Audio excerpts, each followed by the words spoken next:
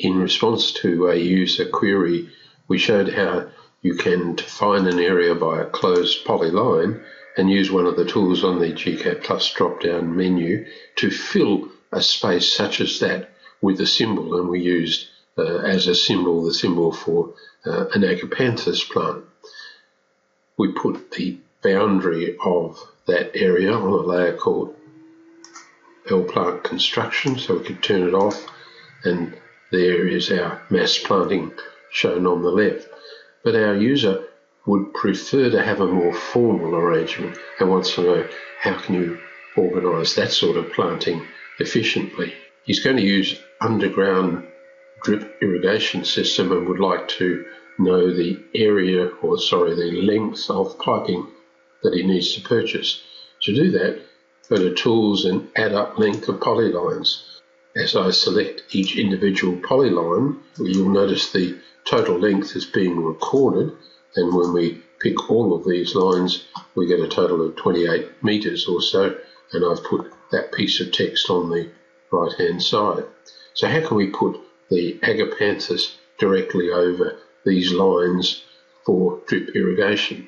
So well, we'll go to GCAD Plus and this time copy along a line and the prompt says select the plant symbol. We use the same symbol again.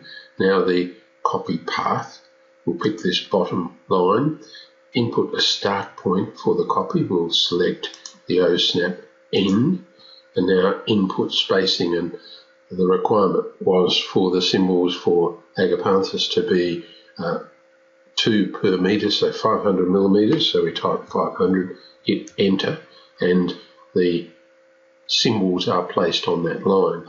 Now you could repeat that uh, for each of the lines. That's just repeat copy along a line. That's the command.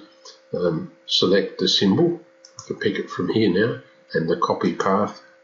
Again, we can pick the end point. point and for the distance 500 and in goes the species. Now to fill the other two in, you could simply select these symbols and just copy them from, in fact we've got an insertion point here so we could go from that point there to the end like so and then again to the end of that one.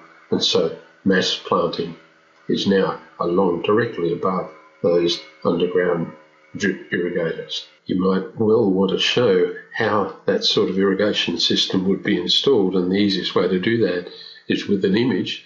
So if you went to our plant database software, you could go to hard space and I've, you could scroll backwards and forwards and do a search and find an image such as this.